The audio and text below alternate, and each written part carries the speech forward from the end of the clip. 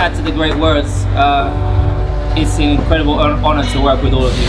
And I think the piece, the bit that I really want to point out was seeing you guys after the race, seeing that energy that you guys all had.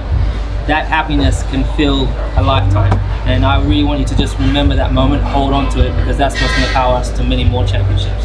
So let's make sure we hold on to that. Let's never let that energy drop, because that's going to propel us forwards. And I tell you, that propels me. When I saw you guys coming with that energy, and each week when we come here and deliver, and you guys are continuously working, and you know the communication is so great between everyone, and uh, getting to drive the car and, and, and, work with you all is just honestly this like past six years has been epic and uh, iconic, and um, we are now legends.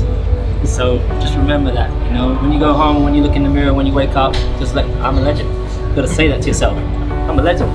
And you gotta every day. Yeah.